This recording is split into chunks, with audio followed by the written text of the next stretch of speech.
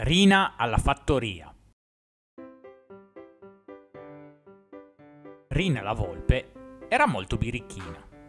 Nonostante vivesse in una tana piccola e calda in mezzo al bosco, era sempre nella fattoria.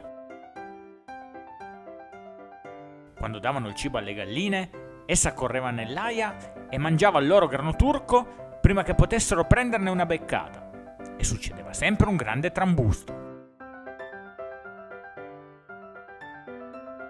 Qualche volta Rina trovava un uovo nel pollaio e allora saliva con la scala sul pagliaio e lo nascondeva. Se Tristano il bassotto faceva il pisolino del pomeriggio all'ombra dell'albero, Rina di soppiatto gli tirava forte la coda.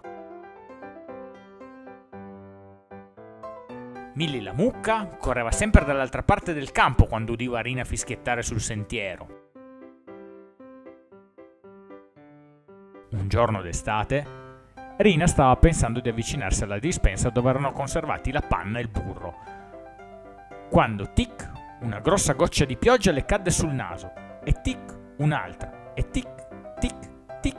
Il cielo era nero e il vento portava via i camini dai tetti e Rina la volpe era trascinata per l'aia.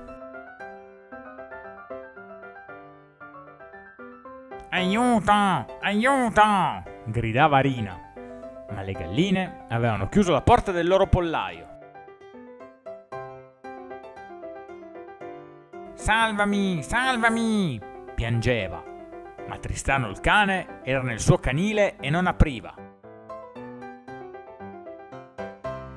Arrigo il cavallo, che era sempre pronto ad aiutare, era così spaventato dal temporale che si ritirò nella sua stalla e non sentì Rina gridare.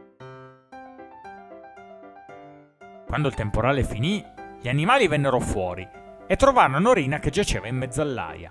Povera Rina, dissero. La sollevarono e la portarono nella fattoria, dove presto si rianimò con del latte caldo. Quella volta Rina promise di non prendere mai più in giro gli amici della fattoria.